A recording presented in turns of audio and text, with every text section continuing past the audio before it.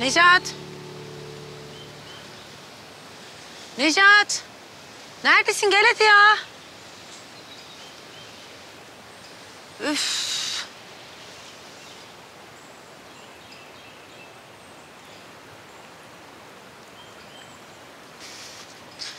Necat.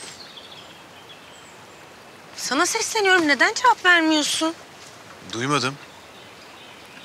Baksana. Berin Hanım her şeyi düşünmüş. Sürprizlere bak.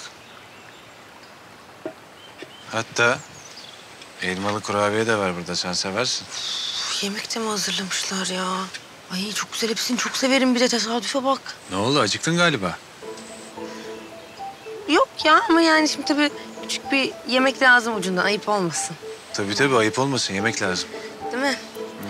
E, yemeklerin hepsini çok seviyorum ama şu var ya o o elmalıya yani onu yemezsem olmaz. İstediğinden al. Hepsi senin için.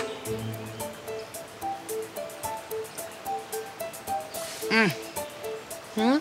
Bir lokma ya zaten bir tane. Şu değil. Ya oturup yesene. Şuraya otur ye. Yok ya gitsek iyi olur.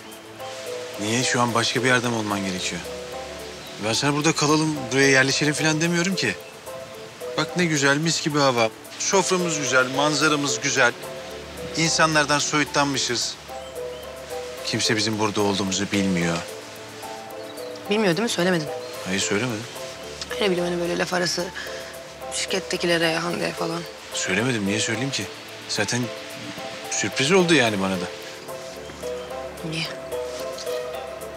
O kadar iştahlı yedin ki canım çekti. Sen güzel kahvaltı etmedin o yüzden. Evet, o yüzden biraz yiyeceğim.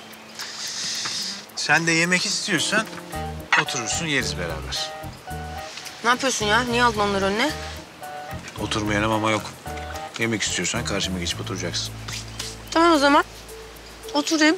Yani bunları yedikten sonra gideriz. Oturacağım. Vallahi oturacağım ya. Önce otur.